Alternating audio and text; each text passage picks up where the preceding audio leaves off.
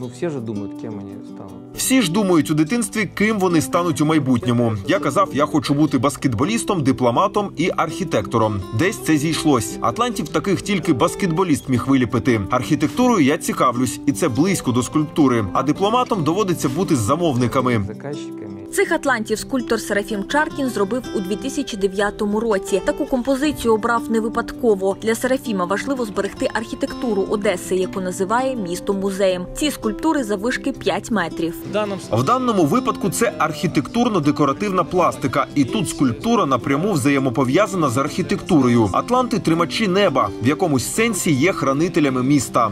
Хранители города. Роботи скульптора народжуються у цій майстерні. Автор паралельно відпрацьовує декілька етюдів. Серафіма завжди захоплювала краса людської натури. Жіноча краса можна сказати на висоті, розумієте? Ну що може бути прекрасніше за жіночу красу?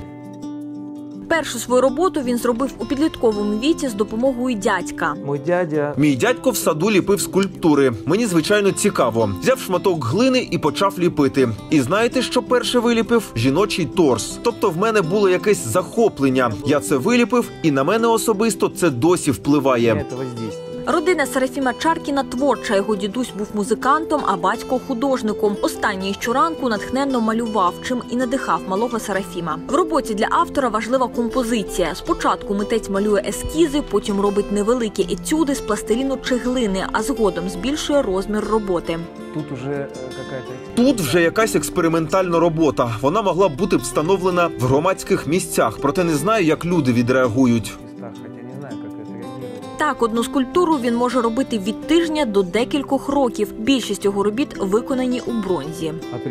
Апріорі справжній художник любить свої роботи, і ми зазвичай відчуваємо цю енергетику любові. Мої скульптури такі натуральні, людяні. Я звертаюсь до основ побудови людини, чоловіка або жінки. Це така краса. Тобто я не хочу йти в пластиковий світ, цифровий. Я не хочу, щоб мистецтво перетворювалось у зубну щітку, гарний дизайн. Найкраща практика для скульптора це робота з живою натурою. Гра світла допомагає майстру зробити скульптуру живою і наповненою.